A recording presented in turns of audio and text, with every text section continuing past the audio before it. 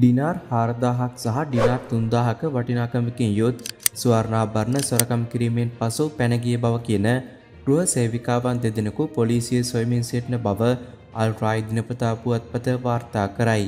කුවේටේ පැමිණිල්ලකට අනුව ඔහුගේ දියණිය විවාහයට සූදානම් වෙමින් ස්වර්ණාභරණ මිලදී ගනිමින් සිටි බව සඳහන් වේ.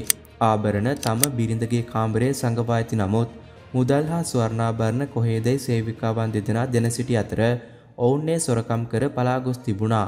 පොලිසිය ඔවුන් වෙත පැමිණීම වැළැක්වීම සඳහා ඔවුන් දුරකථන ක්‍රියාවිරහිත කර ඇති බවට චෝදනා එල්ල වී තිබෙනවා. කෙසේ වෙතත් ඔවුන්ට සංචාරක තහනමක් පනවා තිබෙනවා. කුවේට් පොලිසිය සඳහන් කළේ ඔවුන්ට කිසිම අයුරකින් රටෙන් පලා යාමට ඉඩක් නොමැති නිසා තව දින කිහිපයක් ඇතුළත මෙම ගෘහසේවිකාවන් දෙදෙනා කොටු කර ගැනීමට තමන්ට හැකි බවයි. කුවෙට්ටි මොනයම් ආකාරයක වැරැද්දක් කර සැඟව සිටීමට නොහැකි බවත් ඒ බව සියලුම දෙස් විදෙස් සියලුම් පුද්ගලයන් තරයේ මතක තබාගත යුතු බව කුවෙට් පොලිසිය පවසා තිබෙනවා.